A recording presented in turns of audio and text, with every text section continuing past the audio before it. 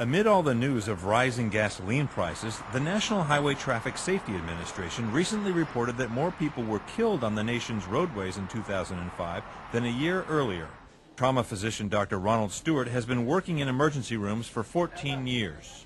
The most important uh, piece of safety technology in the vehicle itself is the seat belt. So, so wearing your seat belt is particularly important. In fact, NHTSA's analysis showed that a staggering 55% of those who died last year in vehicle crashes weren't wearing safety belts. But beyond belt use, there are emerging technologies that help prevent tragedies before, during, and after a vehicle crash.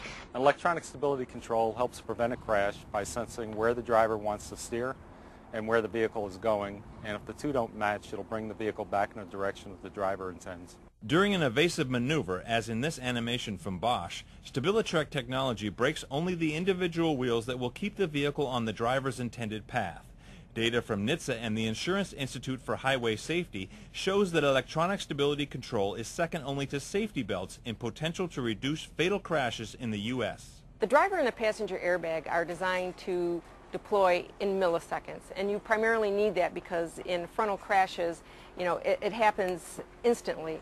On the rollover bags, because of the length of time of the event, they're not as porous. So instead of having it go up and down in, say, milliseconds, it's five seconds. Airbag technology has advanced significantly in the past decade, so much so that in many vehicles during a crash you are virtually surrounded by airbags. And while many of us believe that a mobile phone is our best post-crash emergency option, new in-vehicle communications technology from OnStar may improve the response of emergency and medical personnel and ultimately your chances of survival. OnStar's advanced automatic crash notification tells OnStar how hard a vehicle's been hit, where it's been hit, and whether or not any airbags have deployed, and if so, which ones. That information is then relayed to the emergency dispatch personnel to help them determine what emergency services may need to be dispatched. So while buckling up dramatically improves your survival chances in a crash, the latest technology may enhance them even further. I'm Chris Hansen.